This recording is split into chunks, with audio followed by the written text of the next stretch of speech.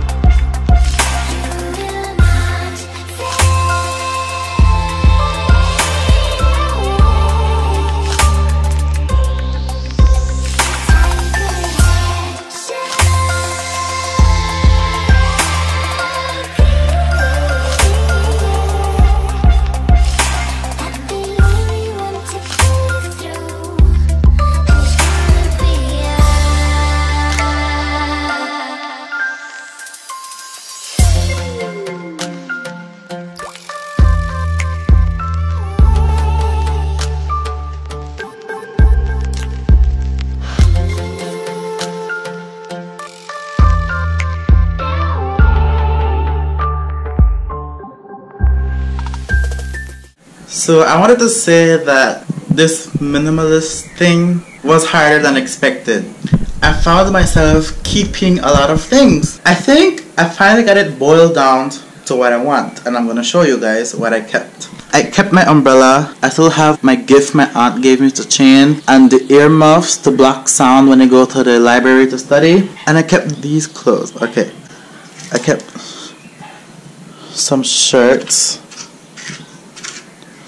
one long jeans pants, two button-up shirt, other normal shirts, one short jeans pants, two three-quarter cloth pants. I have four towels here, but I have one in there. Okay and I have two shoes. I'll be bringing my slippers. I need my slippers. But I have this shoes for school. It's the last few struggles. And then this to take over, but I also use it for working out. But once this goes in, I'll be using this for everything, for working out and going to school. And then I have my gallon of water, my trash can, my scale. Here I kept it compiled. I have my swimming clothes that include water compatible underwear, which is Under Armour, two Under Armour shirt, really thin skin tight underwear for swimming. And I have my swimming gear, my goggles, two snorkels, my flippers, and my water shoes. I was on my bed, my one sheet, my one small quilt, is my what? My two fidget spinners, my headphones, my adapter for my, my pillow with this sheet, this fan. That I do not use it, but I don't know how I'm going to take it on the bus. I might just leave it there, but I do not use it. And here what I kept for products was my water bottle, skin lotion, the two fragrances I use the most, I also have my deodorant. This sheet, but it's full of Q-tips. Hair product that I use to keep my hair in place. I think you're gonna disagree with me, but right here I have garbage bags. Some old school papers. This is for uh, my face. Ointment.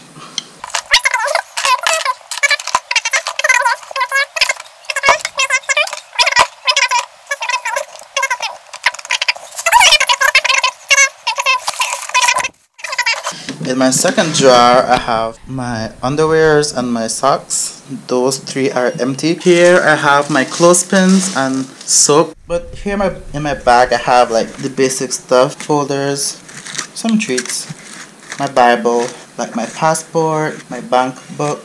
Bathroom wise, I kept my brush, my toothbrush. This is mine.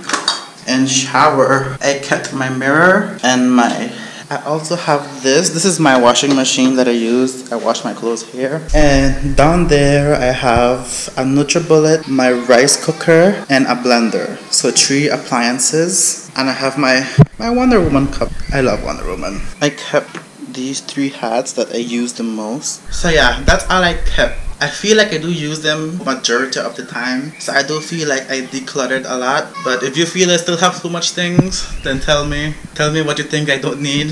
Thank you so much for watching this video. Please like, share, subscribe if you wanna.